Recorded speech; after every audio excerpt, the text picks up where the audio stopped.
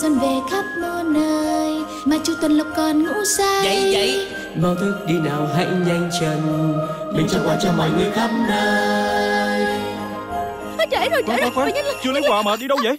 Khán giả người mà. ta đang đợi kìa. Nhanh lên. thì là tuyết đã rơi rồi hết quá tuyết đồng mùa rơi rồi